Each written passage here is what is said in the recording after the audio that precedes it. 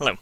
What I'm going to do today is demonstrate how to create a radio whose location you can zero in on and discover. And the source of this is going to be outside of a wasteland, like the random encounter in Fallout 3, where you find a dead Chinese soldier and there's like a radio coming from him. It'll be like that. So to begin with, we're going to create. I'll open with creating my voice type, I think. Uh, so right click new here, right click new, and I'll give it a unique name, my radio voice. Just doing that so when I actually create the radio, I can just do that, put the voice in straight away. I'm going to edit one of these because these have already got the thing we're needing, marker X NIF, and also they've got all the right settings. So give it a new ID, so this will be my radio, and give it a name. Uh, name could be my radio.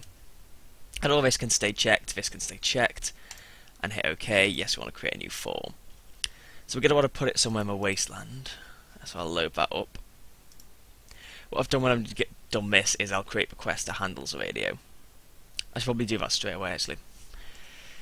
Um, I'll right click new and here's our quest. It doesn't need a name, so I'll go my radio quest.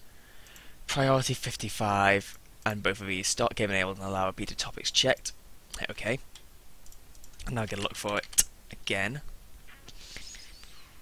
Where does it say my radio? Go to radio, right click add topic, radio hello, and we'll give it something to say. This is my radio. And we'll go back to quest data. And in quest conditions, we're going to right click new, get his ID, my radio. So now all the topics will be set by my radio. It's a quicker way of doing it. And I've found that unless you add a second topic, sometimes this won't play, or at least it didn't play when I tested this earlier. So right click, create a whole new topic, radio topic 2. It'll serve as a, a good demonstration as to how to create your radio as well. And link to radio, oops, radio topic 2 and then go to radio topic 2 and give it something to say. More of your radio. Okay. And this links from radio hello. And because there's only one other topic, I'm going to just have it linked to any, because it's only going to go back to. But you keep doing that in a loop if you have a long thing you want to do, link to the next one. I'll just put link from any here as well then link to the next one, link from a previous one, and so on infinitely. And you could also just straight up record this here, but I'm not going to do it because I haven't saved my mod or anything. Then I'm going to put the radio in the wastelands, will be probably the best thing to do. We'll go to Springvale. Just wait for the references to load. I'll just hit yes to all when these come up. And now what we're going to do is go to activators which will be somewhere here. There it is. I'm just going to use the generic ham radio 01 to represent our actual to represent our radio in the world. So you, you probably have an idea of where you want your radio, but I'm just going to put my radio on the floor. Because why not? Ham radio on the floor. Yep. I'm just going to double click this. I'm going to set open by default which because I'm going to also demonstrate how to turn the radio off and on using the by activating the ham radio. So if I hit open by default, the ham radio will default to the on position. And I'm just going to call it something my radio ref, give it a unique ID, and make it a persistent reference. Okay. Now we need to go back to the talking activators because we're going to put our actual radio in the world now. My radio, this is it. And there we go. I don't suppose it really matters what the model is, but the game uses X markers, uh, so I'm going to use X markers. I just put it somewhere under the ground near my radio. Now we're going to want to give this a unique ID as well. I'm going to call this my radio 2 ref. And here is ra radio data. We're going to have a radius. Now this is where you decide how big a radius you want your radio to broadcast across. Again, I'm not really sure how the units work, um, but um, what does the base game use? I think it uses. Have a look at what the base game uses and just use that. Oh dear, I'll ignore it. You can see the base game uses 6,000 for radios, so 6,000 seems good enough. I was going to do 1,000, but we'll do that.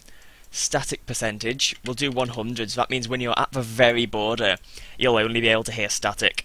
And as you get closer and closer to the radio source, it will become clearer, the message, so that'll help the player track down the radio that he wants to use. So we're going to write a script now. So SCN, my radio script, as long as it's a unique name, it'll be fine. We're going to do begin game mode.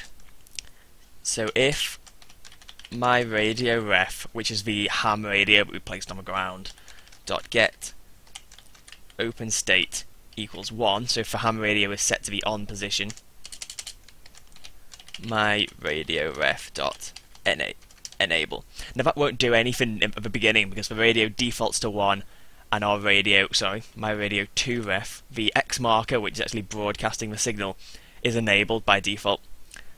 But now we're going to write else if my radio ref dot get open state. Now, if the weird bit equals 3, that means the radio is off. Um, I don't know why it's free. That's just what the game is. Uh, like, 0 means that it's... I don't really know what 0 means. Um, it doesn't appear 2 mean anything. Uh, but 3 means it's it's uh, closed. 2 means it's closing. So, and uh, so we go. My radio to ref dot disable end if end. And we'll save this as a quest script. So what that means is if the open state, if the ham radio we put on the ground is on, then the X marker that's broadcasting the signal will be enabled. If the ham radio that we put on the ground is off, then the X marker will be disabled. And we've saved this as a quest script. Like so now we're going to want to look for a quest that we made before. What you want to bear in mind is that the script processing delay is set to 5 seconds. When you turn off your radio, you'll have to wait 5 seconds before it, so you can uncheck default and hit 1, so that it won't be as long a wait between turning off the ham radio and having your signal disappear. Um, so we're going to attach our script. My radio script. Okay. So that should be that done, because now we've got this quest that begins game enabled. We've set up all our radio topics, so your radio will permanently be looping between, in my example, saying, this is my radio, more of your radio, this is my radio, more of your radio, permanently. But then, you'll gradually be able to hone in on the signal, track it down, and switch it off by setting your radio open state to free, by activating it and switching the little handle. Then radio 2 will be disabled and it will stop. You will lose track of the radio and that is how you do it for a radio that is outside. Piece of advice before you record the dialogue for your radio, before you actually record your voice, uh, save the ESP so that it will be able to create folders in the right place because when I did my test I recorded the voice then saved the ESP so the game was looking for the folders in the wrong place and it didn't work. So save then record the voices so that it can automatically create the right folder structure for you. Uh, so that should be everything hope this was useful. Thank you for watching, and goodbye.